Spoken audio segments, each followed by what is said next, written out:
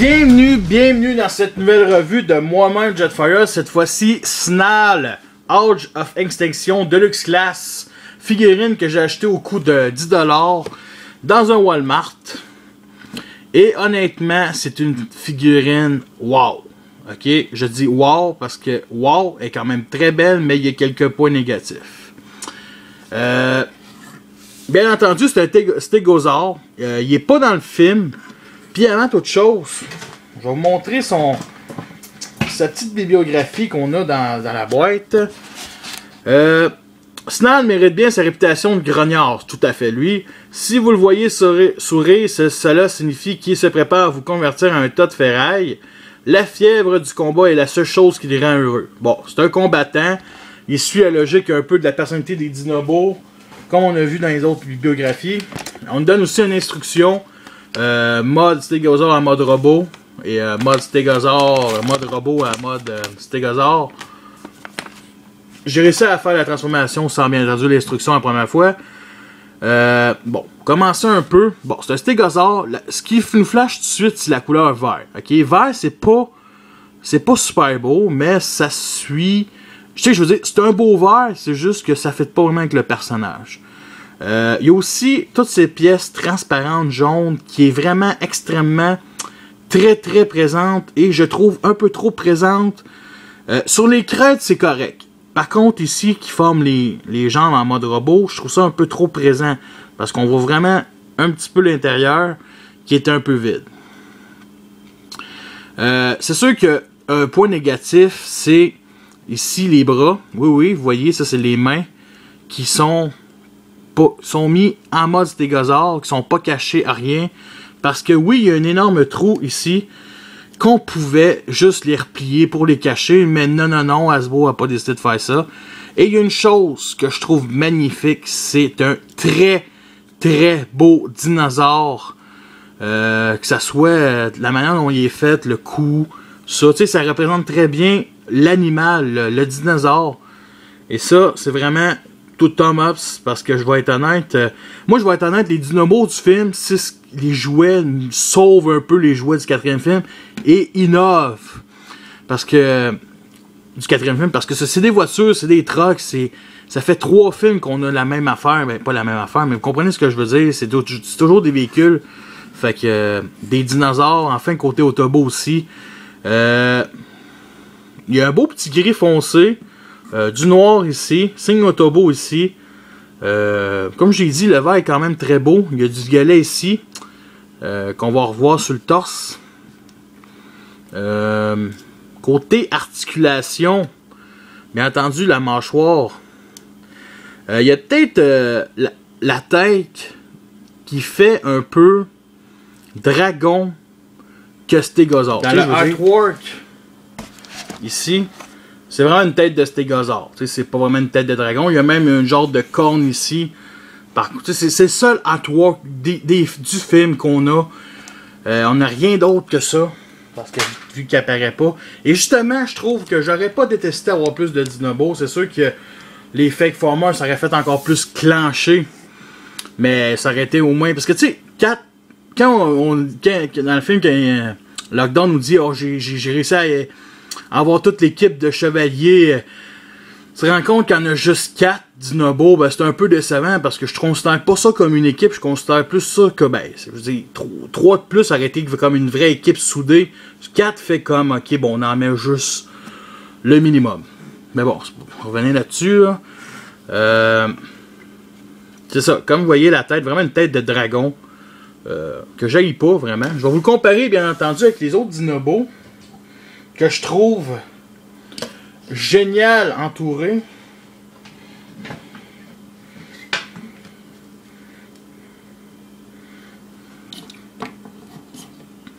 Je ne mentirais pas, il me manque encore Straff et Slug, mais c'est des cadeaux de Noël. Fait que. Bon. Comme vous voyez, Snarl est vraiment petit comparé aux autres. Faut pas oublier que les autres, c'est toutes des deux pattes.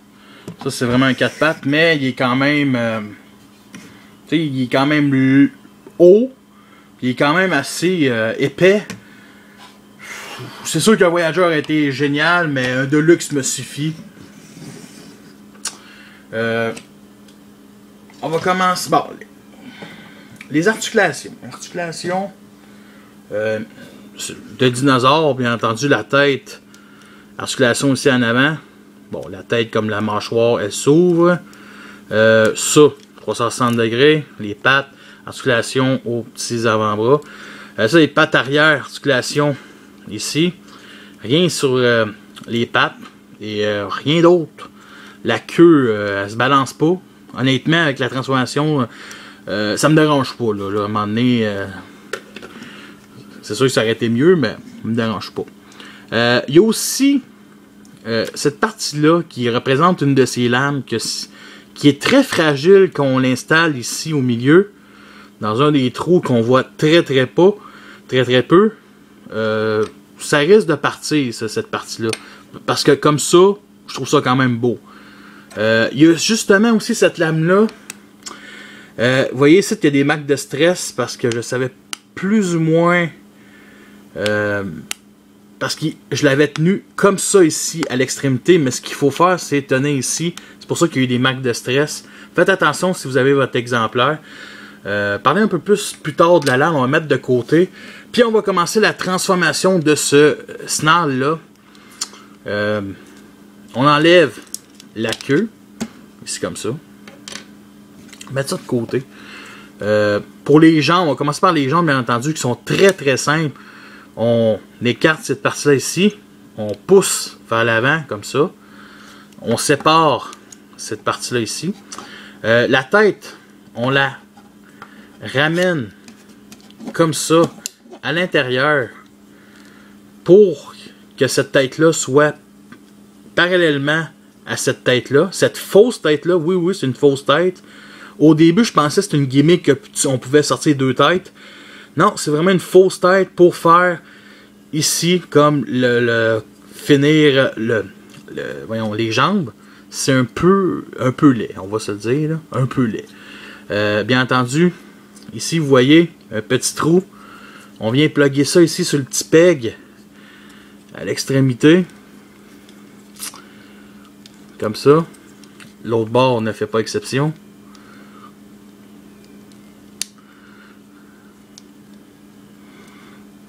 Voyons.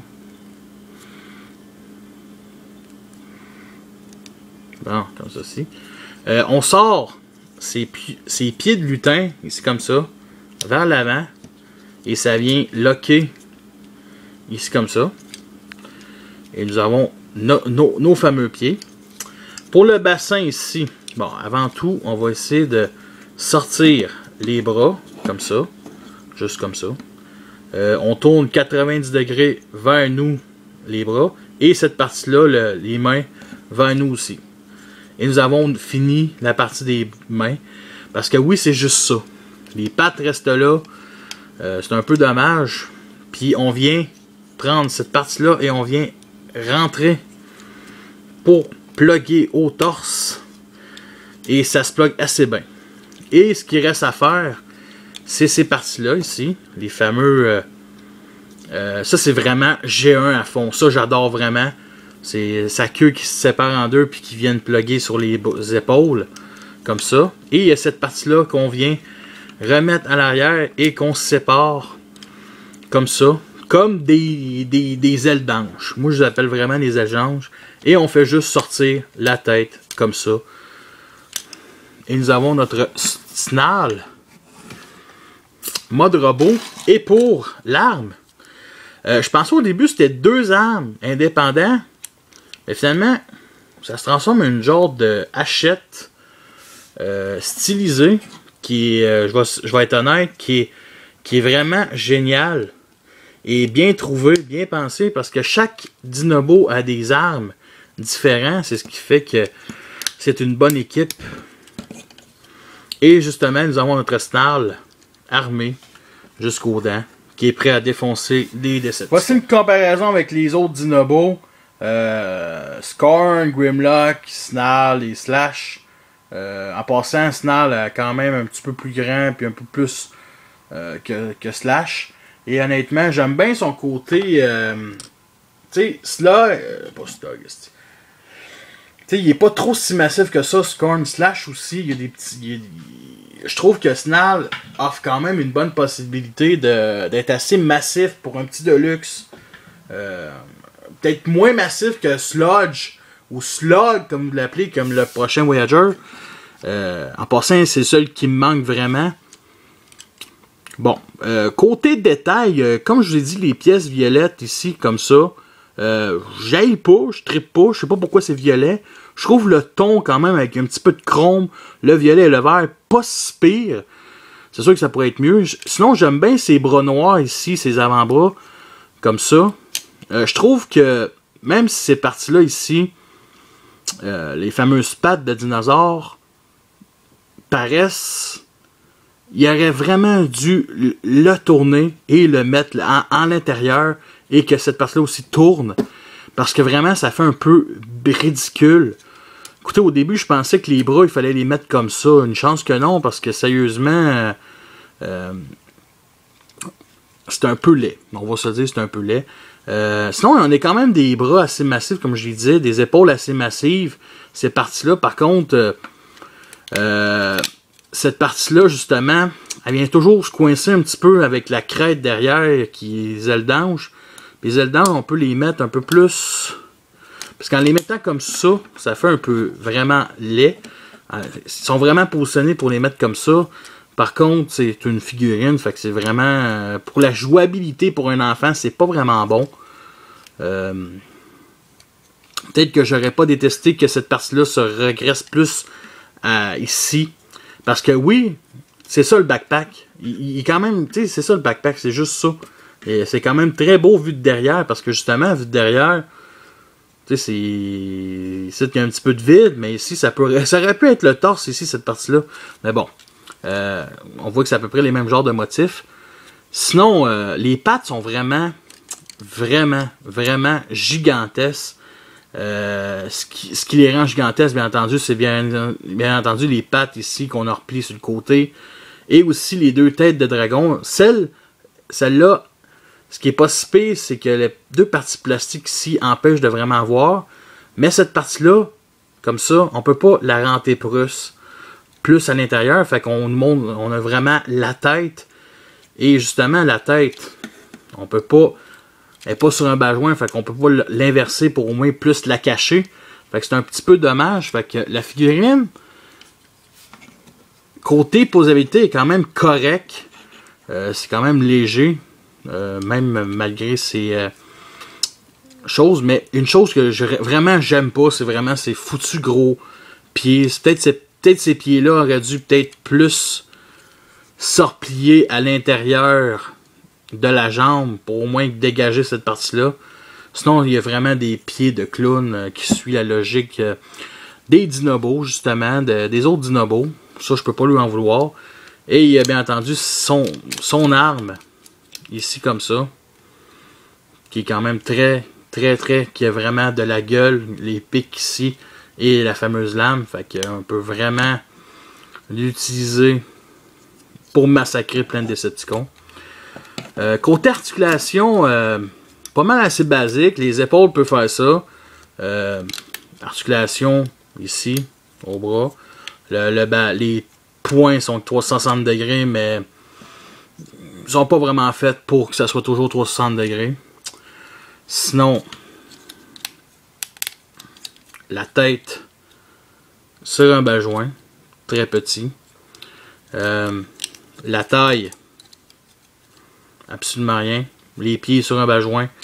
Articulation au genou. Et euh, cette partie-là ici, on peut tourner 360 degrés.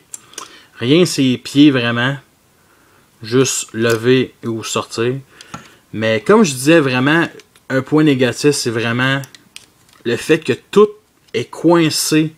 Tu sais, il faut vraiment le mettre. Tu sais, cette partie-là vraiment coince dans ses foutues ailes. Là, je me rends compte que c'est vraiment compliqué et que les, cette partie-là, le bras, doit vraiment être à l'extérieur comme ça. Parce que si on le met comme ceci, il vient un peu s'enfarger la queue dans les pattes du dinosaure replié. Fait que... C'est un certain point négatif parce que vraiment, c'est pas. euh, il aurait pu être mieux, il aurait pu être pire, mais ça aurait pu vraiment être mieux. Sinon, la tête, écoutez, la tête, vous la voyez, elle ne. euh, J'ai vu l'exclusif avec, euh, bien entendu, couleur G1, et ça lui sort vraiment beaucoup mieux. C'est vraiment un très beau hommage. Mais cette tête-là, c'est vraiment une tête Decepticon, insectoïde. Ça fait pas trop chevalier, ça fait pas trop dinosaure. C'est un peu. On a un petit peu de la misère à voir ses yeux. Parce que ça, c'est la mâchoire où, ici, on remarque un peu ses dents. Pas énormément. Mais ses yeux sont minuscules. Il n'y a pas de piping. Les oreilles, ici, comme ça. Tu sais, ici, on voit vraiment le nez, les yeux, mais vraiment, c'est très petit, c'est la même couleur, le violet que ça. Mais sérieusement, là, je sais même pas si vous le remarquez, parce que c'est vraiment dur de le remarquer. C'est un petit peu dommage. Euh, Sinon, est-ce qu'on peut y faire une position d'attaque? Euh, J'ai pas vraiment exploité cette affaire-là. Par contre, il y a une chose que j'aime bien, c'est de mettre euh, son épaule. Non, non. Je l'avais il y a deux minutes. Comme ça. Pour tenir un peu comme si il tenait son arme sur l'épaule, mais avec bien entendu cette partie-là ici. C'est comme impossible de le traîner. C'est comme si je veux mettre l'arme comme s'il la transportait. Bon, comme ça. Vous comprenez ce que je veux dire, là? Euh, un peu comme en position de chevalier qui transporte une grosse masse. Est-ce qu'on peut y faire une bonne position? Ben ouais, des positions comme ça. Une position plus passive qu'attaque. J'exploiterai pas les positions d'attaque, mais je vais essayer de quelque chose. Je me suis toujours dit, c'est tous des chevaliers.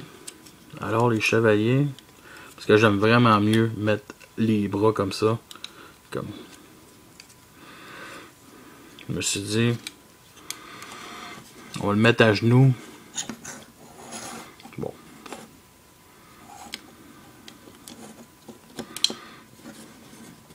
Ah ouais, puis si on peut le mettre à genoux position, on peut quasiment pas. Arrêtez, oui, mais parce que, regardez, c'est même pas son pied qui tient la position, c'est vraiment son bout des, des orteils et la, crête ici. Bon. On va, leur comment, on va leur mettre en mode stégo- stégosaure parce que ça me manque, puis que ça commence vraiment à me gosser de que toutes les pièces s'enfargent sur toutes les autres pièces. On va enfin mettre la crête comme ça. On va remettre. Bon, ça va bien. Euh, la tête. Comme ça. Et je crois que la tête. Bon, elle est correcte comme ça. On remet ça comme ça. Euh, on remet, bien entendu, les pieds. Je trouve la transformation euh, géniale. Tu sais, je veux dire, c'est simple. C'est bien foutu. C'est un très beau hommage. Parce que moi, je pense toujours. Je pense pas au G1, je pense toujours à War for Cybertron, au Fall of Cybertron, que ses épaules, tout ça, était toujours. Dans G1, c'est aussi de même. C'est juste que j'ai toujours l'image du Fall of Cybertron ou du jouet sorti de Battle Road. Et justement, euh, on a ce qu'on appelle euh, les Dinobos sont revenus avec les films. Fait que toutes les. c'est drôle. En 3-4 ans de compagnie tiers, on n'a jamais eu Dinobo, ok? On n'en a jamais eu un. Non, excusez-moi, on a eu Warf.